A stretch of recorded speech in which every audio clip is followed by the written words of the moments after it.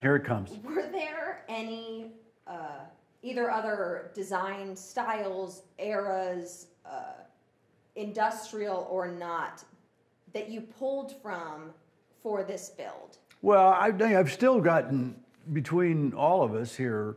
I've looked at so many interiors that I, all of a sudden I'll go to another car auction and say, God, that was a nice interior. Look, I'm finding stuff in the 40s and 50s American that the dashboards are really clever, but they're just metal. So adding bakelite or wood or something, fabric, wool, silk. So I'm, I'm getting, but I really want it to be functional. Some of these old dashboards were functional and they were pretty at the same time. Did I just say that? Then they weren't all gadgety, you know. I just I don't need that much. Electric doesn't need that much. No. No oil pressure, none of that stuff. Do you want to have? I guess they would be novelty gauges at that point. Are, do you plan on having some quote? Yeah, there's going to be a clock in there, and then something. I mean, the electric motor needs to know it's charging or discharging. Would you like to see some of that on? Because that is not obviously those gauges and stuff are Don't- going to look very modern. Yeah, it has to look nostalgic.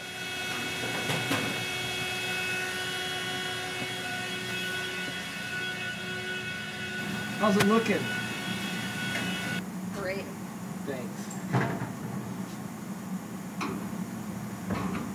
Got a lot of different angles going on here, that's for sure. I know. I was actually wondering how. It's really tough. You got you. I probably have, I don't know, ten to twenty different angles. And then It do you know curves and it goes down and it goes up and it's it's rounded at the same time and How do you know what? Where to go? What angle to go? just rely on my eye.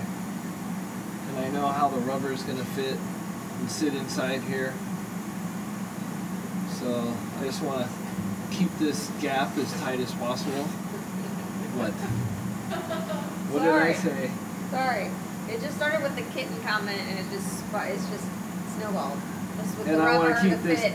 gap. It's as- yeah, it's terrible. yeah, it is. Uh. Sorry, you brought it up. I know. You brought the whole cat kitten thing. I know. I know. But he slept on my face. What am I gonna do? Um, Run with it. Yeah, so that's all. I'm just trying to. And then I want, you know, when the door's shut, I want it to be, you know, an even reveal all the way through, you know?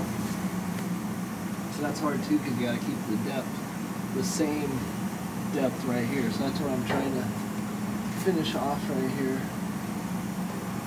I think I almost got it. and this will ultimately be covered with us another.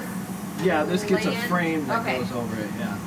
So this frame will have the fuzzies and stuff Yeah. and it'll go up against the glass. This will be an operational window here, correct? Yeah. Yep.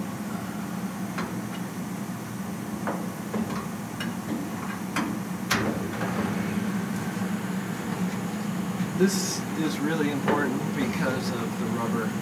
You know, I want it perfect. This right here keeps the car quiet. Yes, it does. So it has to be perfect. So there's no noise. Good. Perfect. If I can just close this a little bit right here, I think I got it.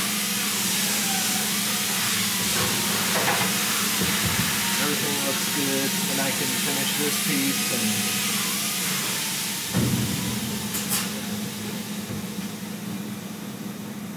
Nice. Nice.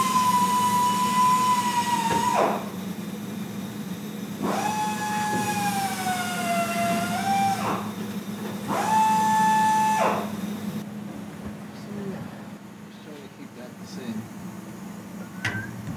Hold on. I'm okay. I'm okay.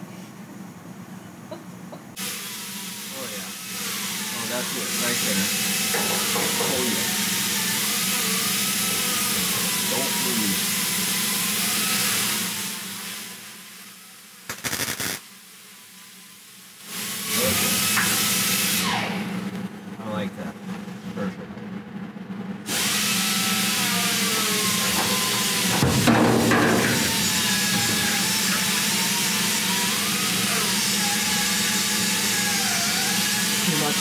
The whole way.